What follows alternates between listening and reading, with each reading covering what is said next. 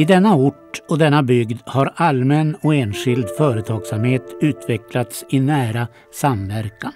Ja, det har ömsesidigt varit varandras förutsättning. Utan denna företagsamhet, denna vilja till framsteg, skulle Skellefteå väl ännu ha varit ett stilla bygdecentrum med några tusen invånare. Nu är det för norrländska förhållanden en stor stad, en stad vars insatser har betydelse för hela vårt land.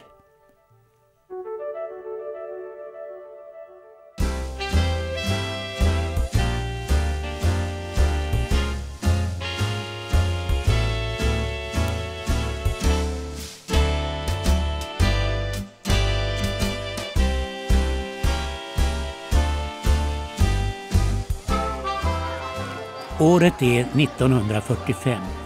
Skellefteå fyller 100 år. Det firades med en 42 dagar lång fest. Den längsta festen någonsin i stans historia. Vädret var suveränt. Inte en regndroppe under hela utställningstiden. Befolkningen kom därför att kalla det hela för den gyllene solens sommar 1945. Glädjen stod högt i tak det dansades, flörtades och åts. Under de sex veckorna åt utställningsrestaurangens gäster över 14 ton lax och 2000 liter glass. Men framförallt dansade man. Över en miljon dansbiljetter såldes under utställningen. Ja, stans 100-årsjubileum skulle firas med besked. Redan fyra år tidigare, 1941, tillsattes en jubileumskommitté och ett nytt stadsvapen beställdes.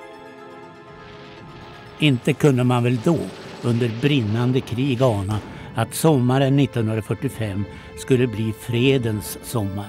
Men det blev det. Den 7 maj 1945 tog andra världskriget slut.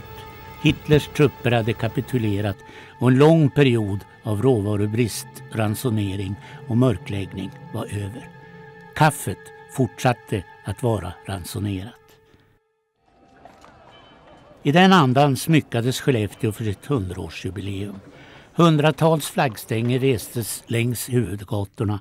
På tidningen Norra Västerbotten skrevs utställningskrönikor veckor i förväg. Det affischerades överallt i stan. Affischens slagord visar framtidstänkandet. Stadsträdgårdsmästare Kullman hade bråda dagar. Stan skulle visa sig från sin vackraste sida. Buskar skulle trimmas, gräset klippas och tusentals blommor planteras. Fågeldammarna ner mot älven skulle också anläggas. Trots den pågående metallstrejken var det över 200 företag, myndigheter och organisationer som ställde ut.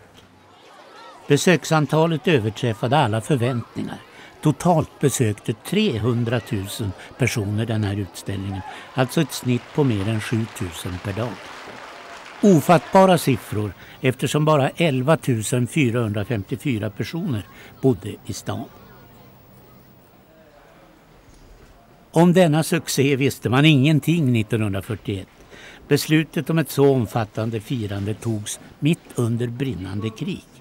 Vad fick Skellefteborna att satsa så på 100-årsjubileet? Varför var framtidstron så stark? Dagen för invigningen var inne. De flesta företag hade stängt dagen till ära. Tusentals lediga människor samlades längs gatorna för att få se en skymt av Västerbottens eget hertigpar, prins Gustav Adolf och prinsessan Sibylla, vår nuvarande kungs föräldrar. De öppna landåerna var förspända med gnistrande vita hästar. För att få hästarna så vita smorde man först in dem med träkol. Sen ryktades de till varje kolflinga var borta. På så sätt var man säker på att hela hästen hade ryktats tillräckligt noggrant. Norra Västerbotten räknade folksamlingen och kallade det ett mänskligt lämmeltåg. Hur många det var, det vet man inte säkert för räknemaskineriet vid vändkorsen slutade att fungera. I alla fall var det mer än 10 000. Trots stora folkskaror hördes inga jubelrop, vilket prinsessan Sibylla inte var van vid. Någon i sällskapet lugnade henne med att befolkningen här uppe inte är sån och prinsessan förstod. Vid middagstid började folk anlända till utställningsrestaurangen Gyllene Solen, döpt efter det nya stadsvapnet. Restaurangens namn Gyllene Solen förvandlades snabbt av folkhumorn till Gyllene krogen. Till förrätt bjöds det på delikatess-sandwiches boucher och färsk sparrispuré. Till huvudrätt kall norrlandslax med sås värt. Efter maten serverades jubileumsglass och senare småkakor och kaffe med konjak eller likör. Under den soliga sommaren ökade antalet fylleriförseelser i stan med hela 74 procent och en av orsakerna ansågs vara att källarmästaren var för generös med spriten. Den var ju strängt ransonerad med ett visst antal centiliter per kund. Men de bestämmelserna hade överträtts den här sommaren. Bakom kulisserna i restaurangen var det lika fint som utanför. Gyllene Solen hade ett toppmodernt kök som inte hade något motstycke på andra ställen i stan. Läroverksområdet på Nordanå var platsen för utställningen. För första gången hissades flaggor med Skellefteås nya stadsvapen. Längst upp blixtarna i knippe som symboliserar kommunens egen elkraftproduktion och den gyllene solen på blå bakgrund symboliserade Bolidenguldet. Skellefteå stads kraftverk och Boliden hade båda egna paviljonger. Kraftverkets paviljong låg alldeles intill älvstranden. På väggarna visades kartor över kraftverkets ledningsnät och fotografier från verkets anläggningar. Naturligtvis fanns också en modell över Selsfors kraftstation, den station som invigdes under jubileumsutställningen. När prinsparet kom till stationen för att inviga den fick prinsessan Sibylla en bukett röda nejlikor av kraftverkschefen Tor Björnboms dotter Britt. Flera personer talade och till slut höll också prinsen ett anförande. Tydligen hade han inte någon ordning i anteckningarna för plötsligt uppstod en paus i talet. Publiken höll andan. Lyckligtvis kom prinsen rätt igen och alla kunde pusta ut. Besöket under jubileumsutställningen var inte prinsparets första i Skellefteå. Det skulle bli ännu fler. Här grundlades nämligen prinsessans kärlek till stan. Hon blev en stor Skellefteåvän och kom tillbaka flera gånger även efter prinsens död. Till exempel invigde hon själv den nya stationen i Finnfors 1956. Sibyllas Skellefteåkärlek var besvarad av befolkningen. Jämfört med andra Norrlandsstäder fick Skellefteå sin elkraft sent. 1906 inköptes de flesta vattenfallen i älven. Två år senare invigdes det första kraftverket vid Finnforsen. En utbyggnad som befolkningen skuldsatte sig för att kunna göra. De fick snabbt valuta för pengarna. Skellefteå blev så småningom landets näst största kommunala elproducent. Den förutseende kraftpolitiken var en faktor som banade väg för den blivande industriutvecklingen. Upptäckten av guld och koppar i Boliden var explosionen som satte utvecklingen i rullning. Skellefteå blev guldstan. På jubileumsutställningen hade Boliden en av de mera påkostade paviljongerna.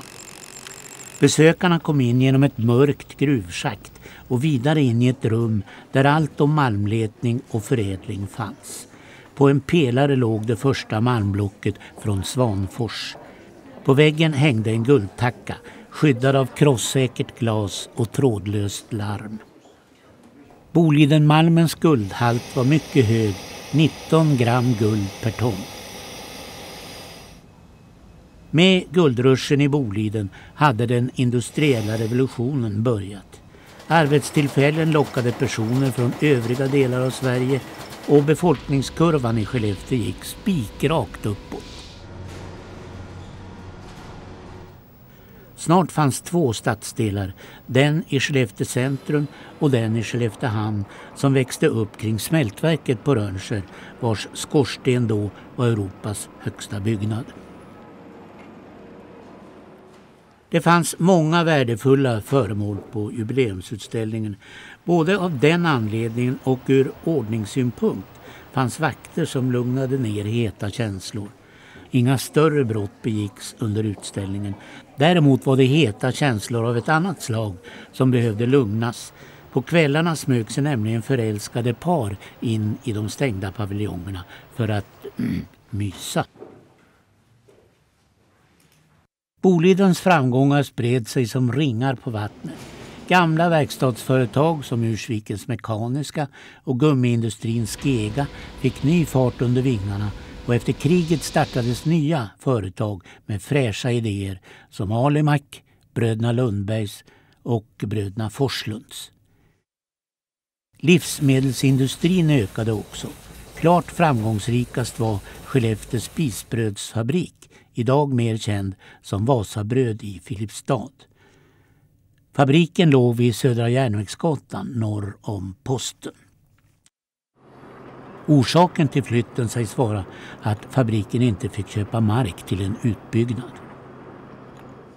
Den enda näringslivsgren som gick ut för var sågverksindustrin. Den industri som i början av Skellefteås historia var den framgångsrikaste. Men ett företag klarade sig bra, Skarin och Söner. Deras paviljong på jubileumsutställningen fick stor uppmärksamhet för sin form.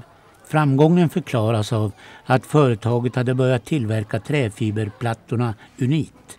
1950 arbetade 500 personer vid Skarins fabriker. Först i mitten av 40-talet fick ny jordbruksteknik genomslag i Skellefteå. Blandningen av hästredskap och maskiner på utställningen visade att många jordbruk fortfarande tog hjälp av hästen.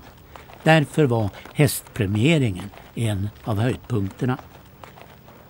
Radion sände flera gånger från 100-årsjubileet. Först ut var Dagens Eko som besökte fiskeutställningen. Sveriges Radio, Skellefteå. Här fanns dammar med både fisk och säl. Sportfiskaren kunde mot viss avgift få känna fisken nappa, men inte mer än känna. Krokarna var konstruerade så att de så småningom raknade av sig självt så att fisken åkte ner i vattnet igen. Ett kort nöje, men roligt som radioreportern upptäckte när han drog upp en amerikansk bäckröding. Radion sände också från den totala solförmörkelsen i juli. Himlafenomenets centrum låg över Bjuröklubb och händelsen drog astronomer från hela världen. Med sig hade de tonvis av utrustning. Skellefteå ligger långt upp i norr, i Västerbotten som ni vet. Som tur var blev solförmörkelsen perfekt trots en oroväckande väderprognos. På en minut var skådespelet över men forskarna var överlyckliga. Det fanns inte bara utställningspaviljonger på jubileumsexpon. Nöjesutbudet var stort. Revyn Snurran går spelades kontinuerligt på området. Det gjorde även föreställningen Västerbottningarna. Här fanns kaféer, kiosker och restauranger. För barnen fanns barens paradis och det var verkligen ett paradis. Både för föräldrar som kunde lämna bort barnen och för barnen som fick leka i bassängen och åka karuseller.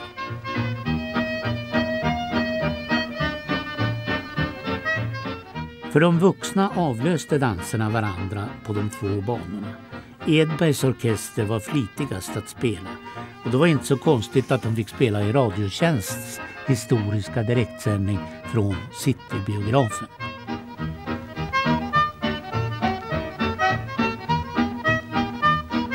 Sändningen hade många lyssnare, bland annat hemmasonen Yngve Forsell som sen blev den framgångsrikaste orkesterledaren i Skellefteå och sålde grammofonskivor i hundratusentals exemplar.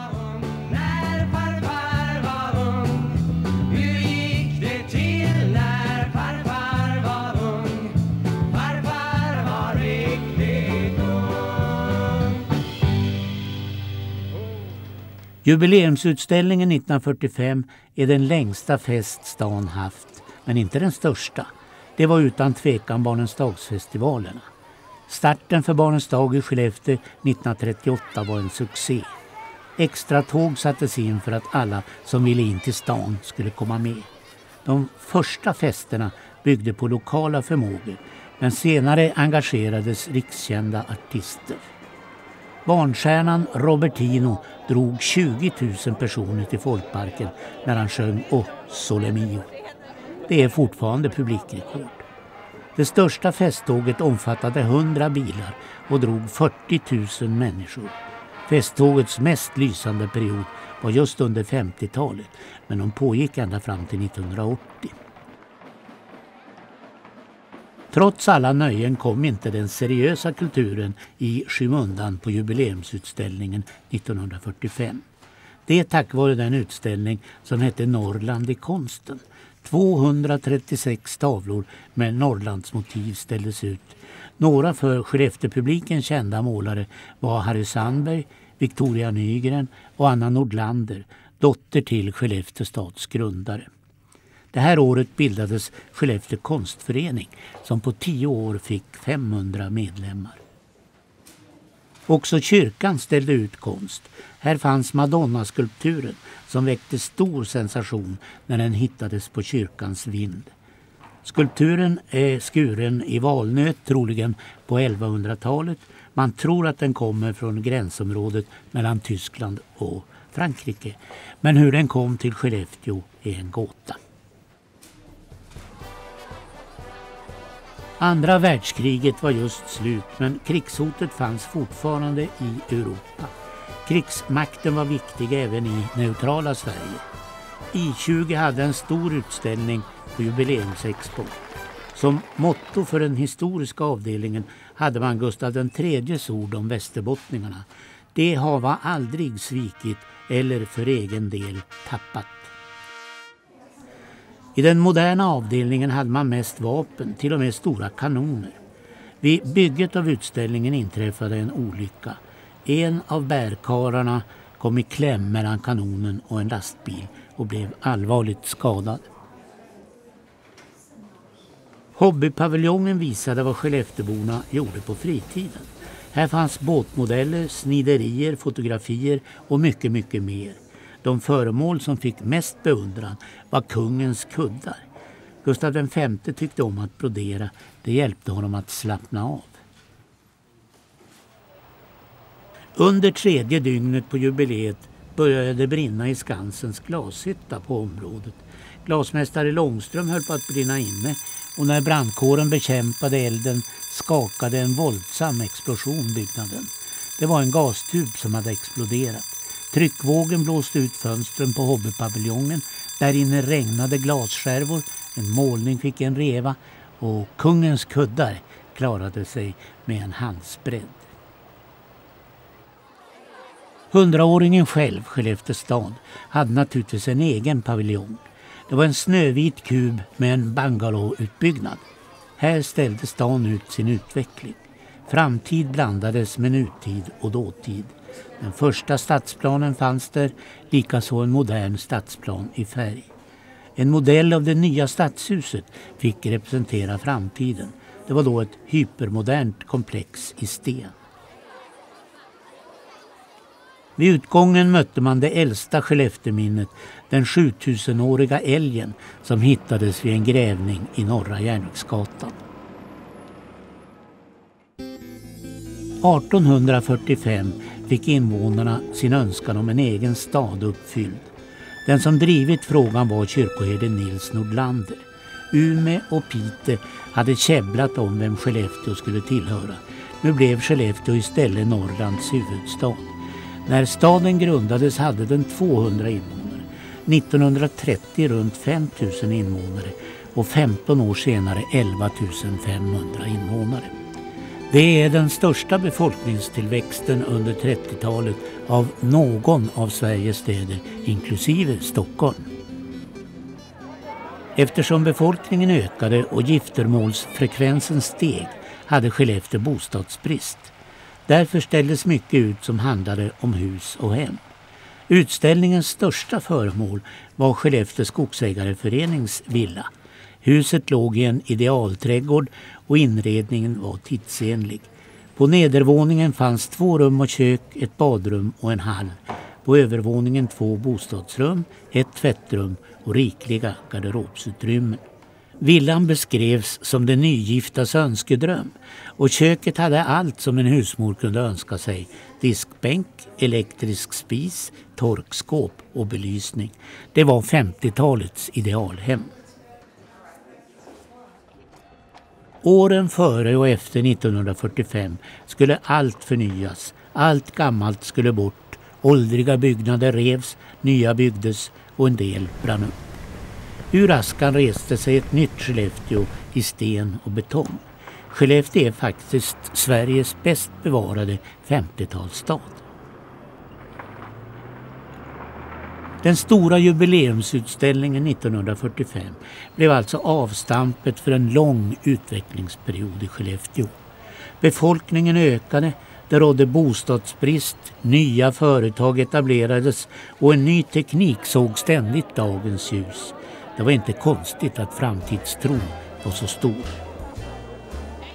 Arvet från den här positiva tiden är betydande. Kanske är det dags för Skellefteåbon att också ärva kämpaglöden och åter göra skäl för den glödande glada solen på stadsvapnet. För solen lyser fortfarande över Skellefteå.